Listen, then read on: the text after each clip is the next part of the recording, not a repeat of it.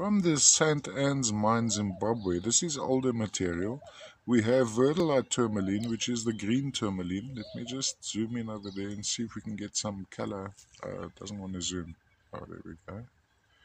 It's a dark, dark green, gem see-through green. Uh, sitting on a quartz. Now, this this quartz does have some form.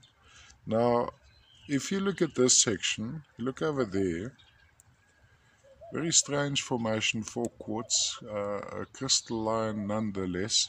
Termination, there is a, there was a termination over here. There is a slight bit of damage on this termination from what I can see. There's a typical quartz termination there. Let's run it around like this. Um, actually, it's, you know what it is? It's just a strange termination. Um, you have a, a, a little um, uh, tourmaline crystal sitting on top on that termination. Okay, going around like this, do we have any, yeah, there is, there is some form of termination. Okay, then we go around like this. And then let's figure out the other side. So there's a crystalline face over there. Let's go around like this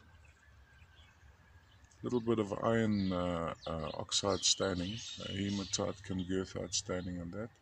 There's a, a, crystal face of sorts over here. We go around like this. This could have been a floater, which, which got a bit nicked. Nice, uh, uh large uh, tourmalines on this guy all from the St. Anne's mine, Zimbabwe. Very well known for the lovely blue uh, topaz crystals which came out there, sky blue topaz, which which I can't see momentarily on this one. Perhaps that little crystal over there could be a topaz. Let's just, I'd have to, please look at my description um, for more info. I'd have to look under magnification.